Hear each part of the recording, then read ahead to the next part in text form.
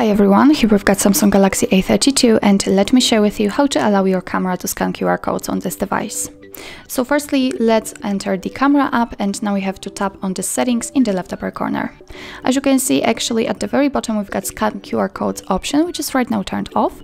If you'd like to turn it on, just tap on the switcher and after tapping on it again you can turn it off, but uh, let me leave it like this and since this, uh, this uh, switcher looks like it, it means that it has been activated and successfully applied to your camera. So if you will have to scan QR code, then all you have to do is simply open the camera app. So I highly recommend to leave this uh, option turned on because thanks to this you won't need any third-party apps to scan QR codes.